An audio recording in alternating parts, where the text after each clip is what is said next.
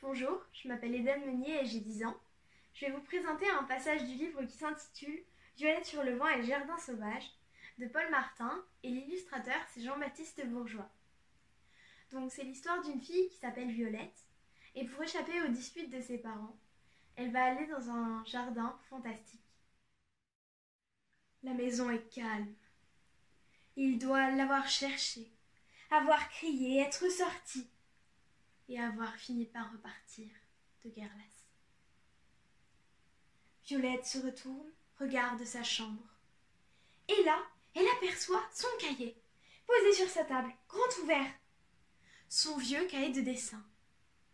Ce n'est pas là qu'il devrait être. Quelqu'un l'a déplacé. Quelqu'un l'a regardé. Violette s'approche et prend le cahier. Il n'a pas seulement été regardé, un feutre rouge est posé à côté. Et celui qui est venu ici s'en est servi pour écrire des commentaires, des notes moqueuses qui critiquent ses dessins. Ce que sa mère colle ici depuis qu'elle est toute petite. Débile Mal fait On dirait plutôt un clown Applique-toi un minimum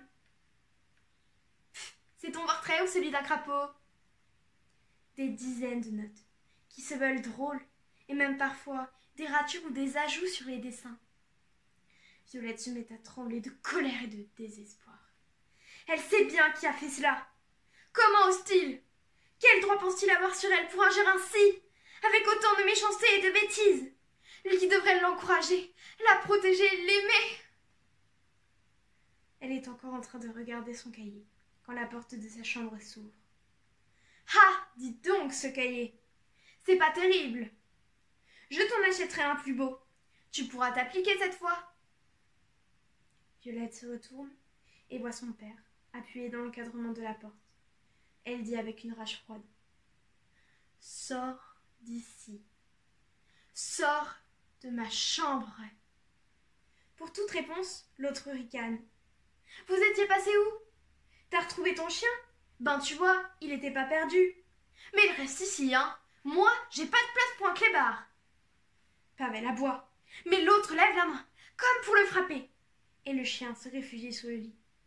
Depuis qu'il est chiot, il a peur du père de Violette. Celui-ci reprend dans son étendue. Bon, j'ai préparé vos affaires pendant que tu étais sorti. Tout est dans le couloir. Tu prends ton frère et tu me suis. Pour fêter ça, on va aller manger des glaces. Pendant tout ce temps, Violette est restée sans rien dire sans bouger.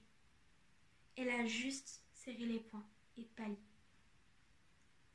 Elle repense à tout ce qui s'est passé dans le jardin, à l'obscurité qui s'étend, à Caliban, à sa colère et à sa peur. Elle repense aux arbres de la horde verte, aux loups, à Sandac, aux trolls et aux lianes noires. Tout cela, elle l'a vécu. Elle repense aux derniers mots de Lewis. Tu mérites de vivre heureuse. Sauve ton frère, maintenant, et sauve-toi.